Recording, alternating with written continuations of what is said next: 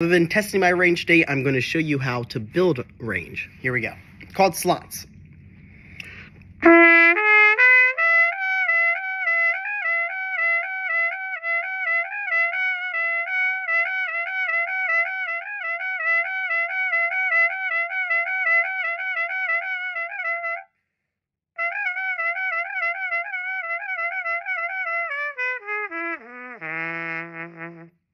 Then I go up a half step. Keep going up. Should have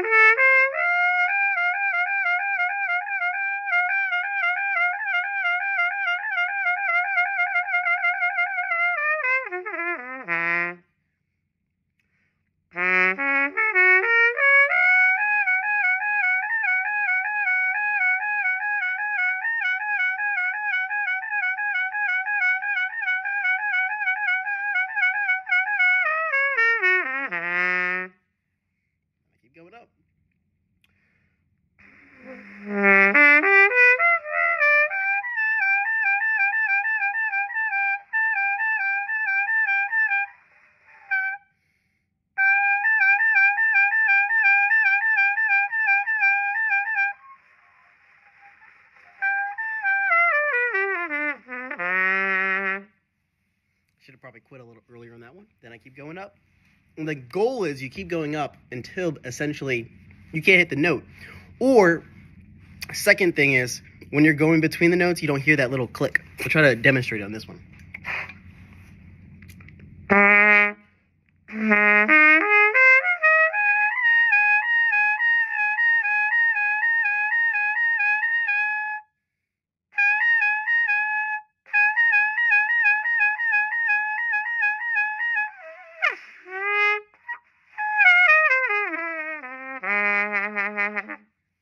See right there, you can hear literally my lips. So that's when you know it's like you need to go, just gotta bail and go lower. I'm gonna do B and then I'll probably end it.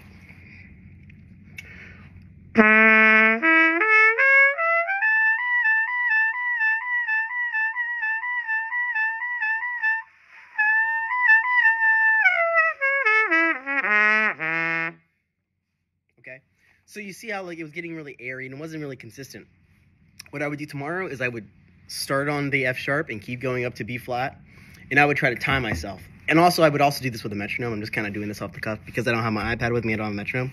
But this is just to demonstrate the exercise. If you guys want to see a full video of how I would approach my warm up, knowing that I'm going to be practicing range, well, let me know down in the comments below. But also, if you enjoyed it, let me know. Um, really liking this video does help with the algorithm, so I do have to ask.